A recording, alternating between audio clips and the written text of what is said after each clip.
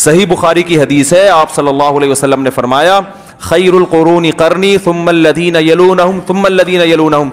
सबसे बेहतर ज़माना मेरा, फिर जो मेरे ज़माने से मिला हुआ, यानी ताबीन का, फिर वो जो उसके बाद वाला, यानी तबा ताबीन का, उसके बाद आपने फरमाया ज़माना ख़राब। जो ख़राब ज़माने को क्या, कैसे डिफाइन किया, फरमाया, यफशुल कज़िब, झूठ फैल जाएगा। यशहदून वला युस्तशहदून। गवाही के लिए बुलाया नहीं जाएगा, जा जाके खुद से झूठी गवाहियाँ देंगे लोग।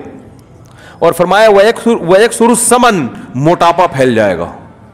देखो, झूठ के साथ, झूठी गवाही के साथ आप किसका ज़िक्र कर रहे हैं? मोटापे का। तो मोटापे और झूठ का क्या लिंग है भाई आपस में? झूठ भी इंसान बोलता है ख्वाहिशात नफसानिया के लिए, हवस पूरी करने के लिए ना पैसा मिले, खाना मिले, और फोड़ता भी इंसान किसके लिए?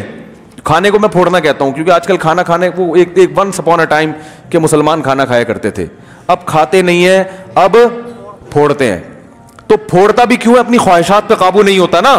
तो फोड़ेगा भी, जबान भी गलत इस्तेमाल होगी, पेट भी गलत इस्तेमाल होगा।